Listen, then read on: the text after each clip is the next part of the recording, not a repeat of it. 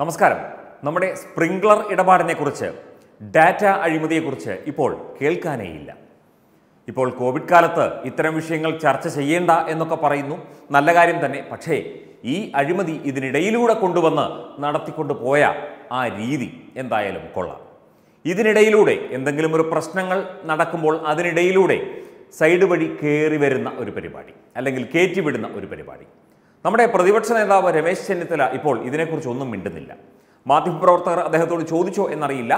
എന്തായാലും അദ്ദേഹം ഇതിനെക്കുറിച്ച് പ്രത്യേകിച്ച് ഒന്നും തന്നെ കഴിഞ്ഞ കുറേ ദിവസങ്ങളായി ഉരിയാടിയിട്ടില്ല.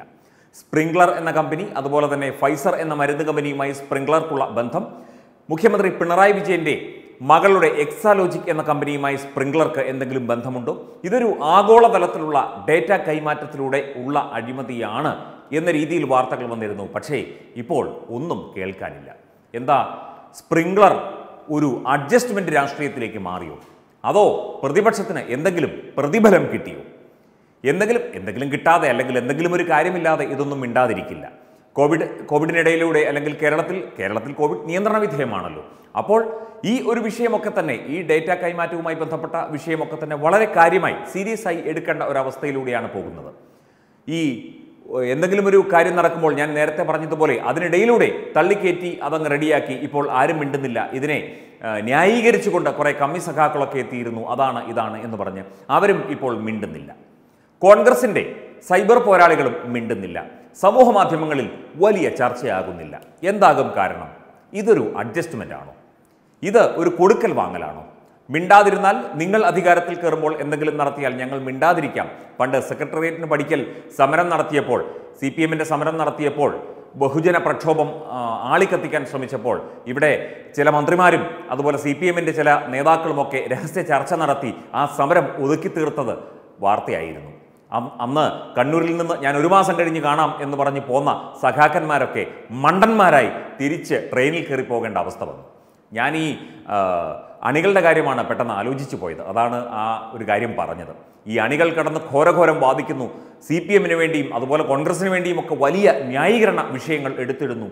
ആവശ്യമില്ലാതെ ന്യായീകരിക്കുന്നു. ന്യായീകരണ തൊഴിലാളികൾ വരെയുണ്ട്. പണം വാങ്ങി ന്യായീകരിക്കുന്നവർ വരെയുണ്ട്.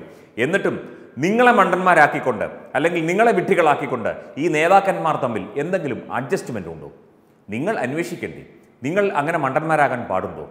നിങ്ങൾ ഈ പാർട്ടിയെയും അതേത് പാർട്ടിയായാലും കോൺഗ്രസ് ആയാലും സി പി എം ആയാലും ഏത് പാർട്ടി ആയാലും പാർട്ടിയെയൊക്കെ ന്യായീകരിക്കുമ്പോൾ അതിന് എന്തെങ്കിലും ഒരു അർത്ഥമുണ്ടോ അല്ലെങ്കിൽ എന്തെങ്കിലും ഒരു ന്യായമുണ്ടോ എന്ന് നിങ്ങൾ ഒന്ന് ആലോചിക്കും. നിങ്ങളുടെ പാർട്ടി ചെയ്യുന്നതെല്ലാം സി പി എം ചെയ്താലും കോൺഗ്രസ് ചെയ്താലും അതൊക്കെ വളരെ നല്ലതാണ് സന്തോഷകരമായ കാര്യമാണ്. എല്ലാം പാലൊഴുക്കുന്നു തേനൊഴുക്കുന്നു എന്നൊന്നും പറയാനുള്ള ആ ഒരു ബോധമേ നിങ്ങൾക്കുള്ളൂ.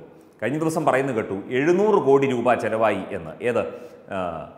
ഇന്ത്യൻ എയർഫോഴ്സ് ആരോഗ്യ പ്രവർത്തകർ ആരോഗ്യ പ്രവർത്തകർക്ക് അഭിവാദ്യം അർപ്പിച്ചുകൊണ്ട് പുഷ്പവൃഷ്ടി നടത്തി. ഹെലികോപ്റ്ററിൽ. വിവിധ മെഡിക്കൽ കോളേജുകളിൽ നമ്മുടെ തിരുവനന്തപുരം മെഡിക്കൽ കോളേജിലും ജനറൽ ആശുപത്രിയിലുമൊക്കെ ഇത് നടക്കുകയും ചെയ്തു. എഴുന്നൂറ് കോടി രൂപ. നിങ്ങൾ രാഹുൽ ഗാന്ധിക്ക് പഠിക്കുകയാണോ? ഒരു കോൺഗ്രസ് പ്രവർത്തകന്റെ പോസ്റ്റായിരുന്നു കേട്ടോ. രാഹുൽ ഗാന്ധിക്ക് പഠിക്കുകയാണോ? പണ്ട് രാഹുൽ ഗാന്ധി പറഞ്ഞതുപോലെ എത്രയോ കിലോമീറ്ററുകളുടെ കഥ പറഞ്ഞു. ആ കിലോമീറ്റർ കണക്കാക്കിയാൽ ഭൂമി രണ്ട് രണ്ട് പ്രാവശ്യം ചുറ്റി വരാം ഈ മണ്ടത്തരങ്ങളും മറ്റു കാര്യങ്ങളുമൊക്കെ ഇതിനിടയിലൂടെ എഴുന്നള്ളിക്കുന്നവർ അത് എഴുന്നള്ളിച്ചുകൊണ്ടേയിരിക്കും. ഈ അണികൾ പ്രവർത്തകർ ഇതൊക്കെ ഒന്ന് കാര്യമായി നോക്കി വേണം ഇതിനെ ന്യായീകരിക്കാൻ. പിന്നെ ഞാൻ ആദ്യം പറഞ്ഞ കാര്യവും. ഈ നേതാക്കന്മാർ തമ്മിലും അതുപോലെ വലിയ വലിയ ആൾക്കാർ തമ്മിലും അഡ്ജസ്റ്റ്മെന്റ് നടത്തി അവർക്ക് കീശ വീർപ്പിക്കാനും അവരുടെ കാര്യം നടത്തിക്കൊണ്ടു പോകാനുമുള്ള കാര്യങ്ങൾ ഇതിനിടയിലൂടെ ആവിഷ്കരിക്കും എന്ന ഒരു സാമാന്യ ബോധം നിങ്ങൾ അണികൾക്കുണ്ടാകണം. ഇല്ലെങ്കിൽ നിങ്ങൾ വീണ്ടും വീണ്ടും മണ്ടന്മാരായിക്കൊണ്ടിരിക്കും. നിങ്ങൾ വീണ്ടും വീണ്ടും ഇവരെ ന്യായീകരിച്ചുകൊണ്ടിരിക്കും ന്യായീകരിച്ചുകൊണ്ടിരിക്കും ഈ സ്പ്രിംഗ്ലറിലും മറ്റൊന്നല്ല സംഭവിച്ചത് എന്നാണ് റിപ്പോർട്ട്. അതായത് എന്തൊക്കെയോ അതിനിടയിലൂടെ സംഭവിച്ചിട്ടുണ്ട്. സ്പ്രിംഗ്ലർ ഒതുക്കി തീർക്കാനുള്ള എന്തൊക്കെയോ ഗൂഢശ്രമങ്ങൾ അന്താരാഷ്ട്ര തലത്തിൽ തന്നെ നടന്നിട്ടുണ്ട്. അതാണ് പ്രതിപക്ഷവും ഒന്നും മിണ്ടാത്തത് ഭരണകക്ഷിയും ഒന്നും മിണ്ടാത്തത്. അങ്ങനെയല്ലേ നമുക്ക് കാണാൻ സാധിക്കുകയുള്ളൂ. ഒരു വലിയ വിഷയം അതിന്റെ വിശദാംശങ്ങളും കാര്യങ്ങളും ഒക്കെ തന്നെ അത് സുതാര്യമായിരിക്കണം. ഹൈക്കോടതി പോലും ഈ ഒരു വിഷയത്തിൽ വിമർശനം ഉന്നയിച്ചതാണ് എന്നിട്ട് പോലും ഇപ്പോൾ സ്പ്രിംഗ്ലർ വാർത്തകളിൽ നിറയുന്നില്ല. അല്ല സ്പ്രിംഗ്ലറിനെ വാർത്തകളിൽ നിറയ്ക്കുന്നില്ല. എന്തോ എവിടെയോ adjustment നടന്നിട്ടില്ലേ? Something rotten in the city of Denmark എന്ന് പറയുന്നത് പോലെ നമ്മൾ മലയാളത്തിൽ അത് പറയുകയാണെങ്കിൽ എന്തൊക്കെയോ എവിടെയൊക്കെയോ ചീഞ്ഞു നാറുന്നുണ്ട്. ജനങ്ങളുടെ ഡേറ്റയും മറ്റ് കാര്യങ്ങളുമൊക്കെ സുരക്ഷിതമായി സൂക്ഷിക്കേണ്ട ഒരു അവസ്ഥയിൽ ഇന്നത്തെ കാലത്ത് ഇത്രയും ടെക്നോളജി വളർന്ന അവസ്ഥയിൽ ഇതൊക്കെ അവർക്കും ഇവർക്കും കൊടുത്ത് ഇത്തരത്തിൽ ഇടപാട് നടന്നിട്ടുണ്ടെങ്കിൽ അത് കാര്യമായി തന്നെ അന്വേഷിക്കേണ്ടതാണ് അത് പരിശോധിക്കേണ്ടതാണ്.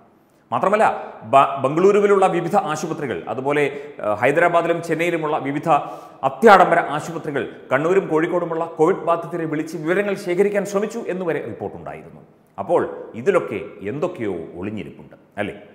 വെബ് ഡെസ്ക് തത്വമേ ന്യൂസ്.